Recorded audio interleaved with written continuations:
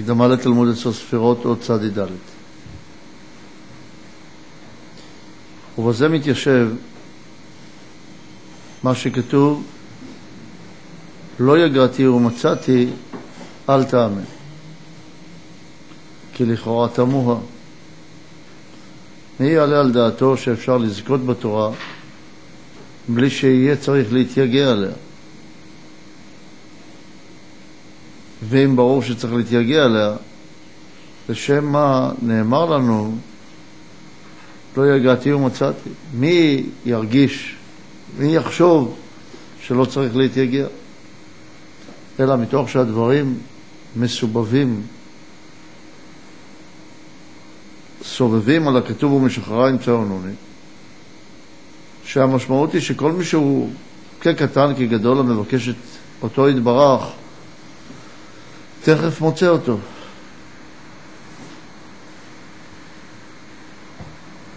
זאת אומרת שהאדם יכול למצוא את הבורא לא ביחס לכישורים הטכניים שלו, לא אם הוא פיקח, לא אם הוא מהיר, לא אם יש לו שבע, לא אם, לא, לא אם יש לו רק שתי ידיים וכן הלאה. זאת אומרת, הכישרונות הטכניים שלו, כמה הוא זוכר את הלימוד, זה לא מה שנותן לו למצוא את השם יתברך, אלא זה שהוא מבקש אותו. אבל גם במושג הזה, שכל מישהו כקטן גדול, כגדול המבקש אותו יתברך יכול להשיג אותו, גם בכך יכולה להיות איזושהי בעיה. איזושהי בעיה בתפיסה. משום שהיה אפשר לחשוב שאין צריך לזה יגיעה כל כך.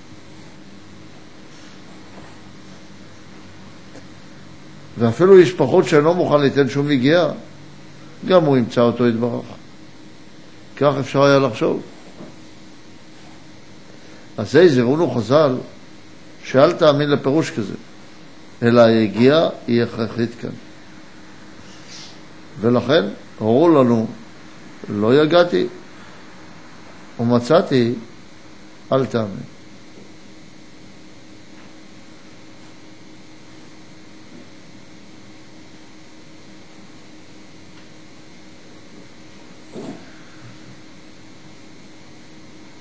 צריכים להבין שהפירוש יגעתי ומצאתי מחייב שני דברים. א', מחייב שתמצא, וב', מחייב גם שתתייגע. לכאורה, אם הבורא יכול לתת לי בלי שאני אתייגע, למה הבורא רוצה בדווקא שאני אתייגע? אז ראשית, תכף נסביר את זה, אבל ראשית אנחנו צריכים להבין שהבורא רוצה מאיתנו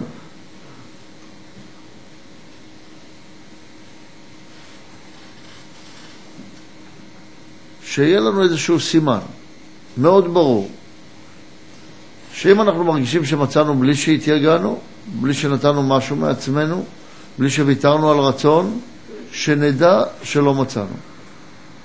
לא יכול להיות שבן אדם לא מתייגע ומוצא. אין דבר כזה.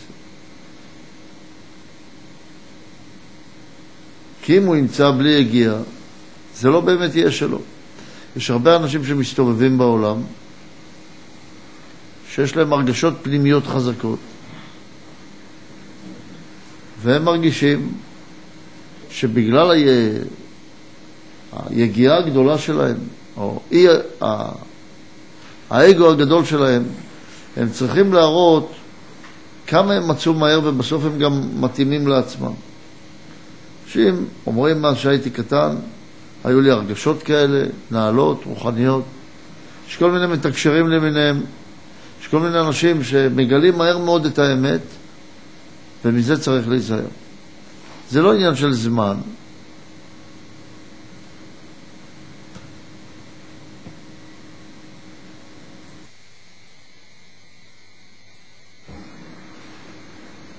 לכן הכתוב רוצה להזהיר אותנו מפני כל מיני אנשים כאלה. יותר מאנשים מבחוץ, כתוב רוצה להזהיר אותנו מעצמנו, שאנחנו עצמנו מרגישים הרבה פעמים שאנחנו מוצאים מהר מדי בלי הצורך להגיע. גם לאחר שמצאנו שלב אחד בסולם לעלות אליו יתברך, אנחנו מרגישים כבר שאנחנו בגאווה גדולה ואנחנו יכולים להשיג הכל בלי יגיע, ואנחנו מוותרים על היגיע. לכן מזהיר אותנו הכתוב, שחייב יגיע.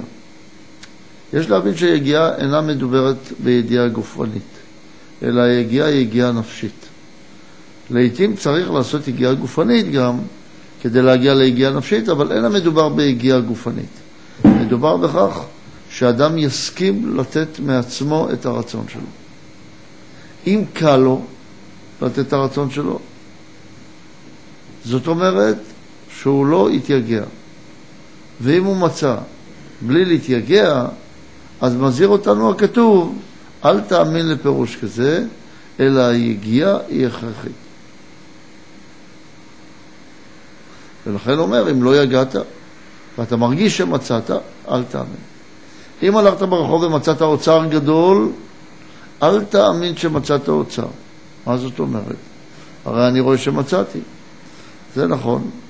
את הדבר הטכני אולי יש לך עכשיו, אבל אתה לא יכול לקבל משהו בלי שעבדת בשבילו. צריכים לזכור שהמציאות שלנו היא מציאות שאפשר לחוש לכאורה שיש לנו.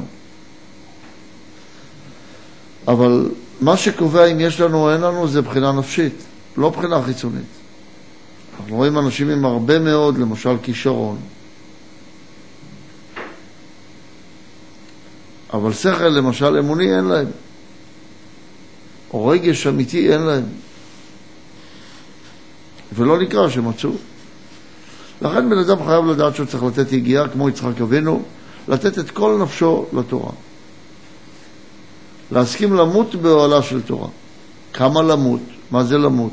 למות זה למסור את הרצון. כל פעם אחד שהוא מצוי.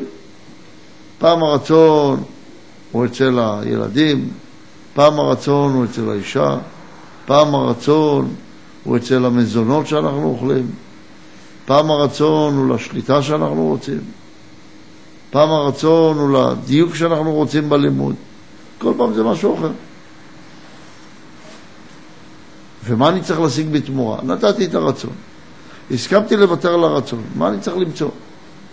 אהבת השם. מה זה אומר?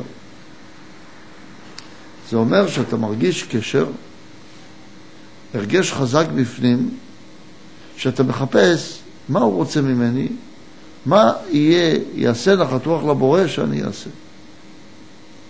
לא, ולא, מה אני אעשה כדי שייתן לי מה שאני רוצה. לא ככה. אלא מה יעשה לו נחת רוח. לזה צריך להגיע. אחד הדברים המעודדים הוא שאנחנו לא חייבים כישרון גדול. יש רדיפה מאוד גדולה בחברה המערבית שאנחנו ממונים עליה, לפחות חלק גדול מאיתנו, שהרדיפה אחרי חומריות חיצונית או כישרונות היא אחד הדברים העיקריים שקיימים. צריכים לדעת שהרדיפה אחרי כישרונות היא לא עושה אותך יותר בן אדם. בן אדם לא נבחן בכישרונות שלו, בן אדם נבחן בקשר שלו להשם. ודרך זה צריך לבדוק את הדברים. לא פעם אנשים שואלים, איך אני יכול ללמוד קבלה אם אין לי שכל מפותח? אתה לא צריך ללמוד קבלה אם יש לך שכל מפותח. ראינו אנשים בעלי שכל מפותח מאוד, שלא הצליחו בלימוד הזה. לא הצליחו, הכוונה היא שזה לא באמת שינה אותם. כדי שבן אדם באמת ישתנה. הוא צריך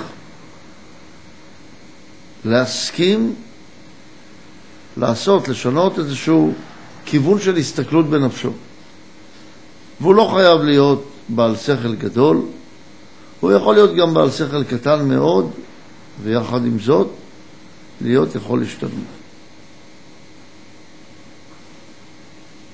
לכן, אם אדם רוצה לכוון את יגיעתו, הוא צריך לכוון את יגיעתו לשינוי הנפשי שבתוכו, לכוונת הלב שבו. כוונת הלב צריכה להיות למצוא את הבורא.